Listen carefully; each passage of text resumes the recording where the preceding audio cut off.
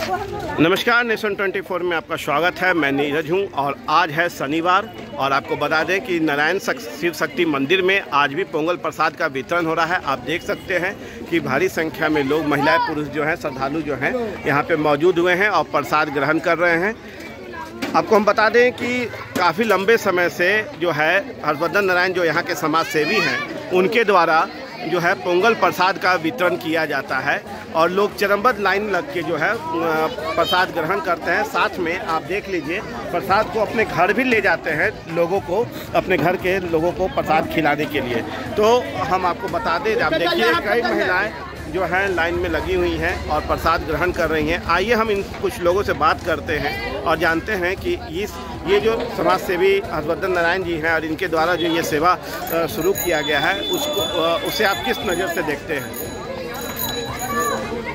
कैसा अनुभव करती है माता जी जब आप यहाँ प्रसाद ग्रहण करने आती है तो? बहुत बढ़िया। अच्छा लगता है प्रसाद ग्रहण करके?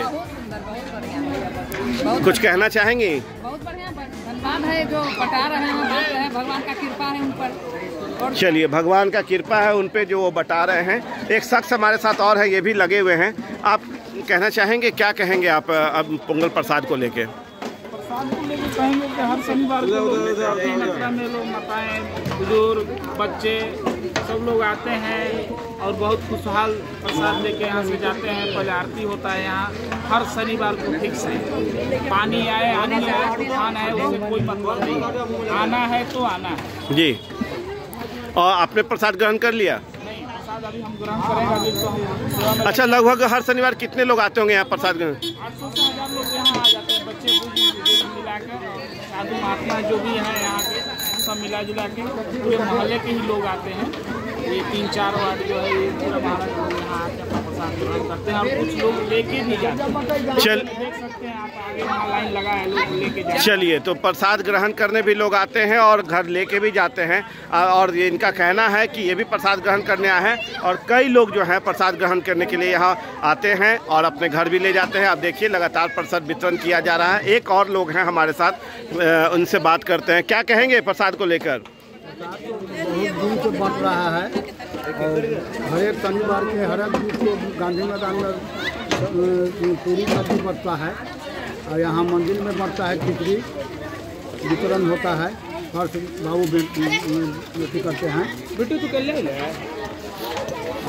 आपने ग्रहण कर लिया प्रसाद? हाँ ग्रहण कर लिया। और कितने लोग अभी यहाँ पे प्रसाद ग्रहण किए होंगे? चलिए अभी तक पाँच छः सौ आदमी जो है प्रसाद ग्रहण कर चुके हैं और धीरे धीरे और भी प्रसाद देखिए आप रखा हुआ है लोगों के लिए। धीरे धीरे लोग यहाँ आते जाएँगे और प्रसाद ग्रहण कर क्या बाबू कैसा लगता है प्रसाद ग्रहण करके? हर शनिवार को यहाँ पे प्रसाद मिलता है। आप लेने आते हैं हर शनिवार?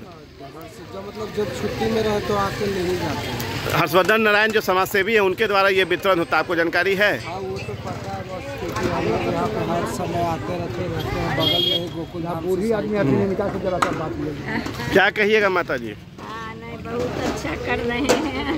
क्या कीजिएगा इतना भरा हो रहा है बाल बच्चा के सबके सुख दिए भगवान ये पर सब चल रहा है और क्या?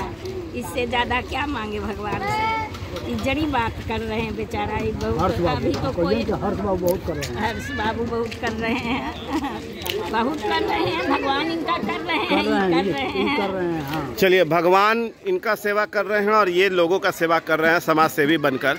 इसी क्रम में आप देख लीजिए धीरे धीरे जो है प्रसाद अब अंतिम दौर में आ चुका है। लोग लगातार खड़े हो रहे हैं ग्रहण कर रहे हैं और कुछ बांटने वाले हैं उनसे हम लोग बात करते हैं। थोड़ा सा रुक के भाई बताना कैसा अनुभव करते हो जब प्रसाद वितरण करते हो लोगों के बीच? अच्छा लगता है। हाँ? अच्छा लगता है। क्या अनुभव करते हो क्या? ठीक लगता है अंदर से? अंदर से ठीक लगता है। हर शनिवार आते हो? हाँ चलिए हर शनिवार ये प्रसाद वितरण करने आते हैं और लोगों के बीच जो है प्रसाद को वितरण करते हैं। तो हम आपको बता दें कि ये समाज सेवी हैं।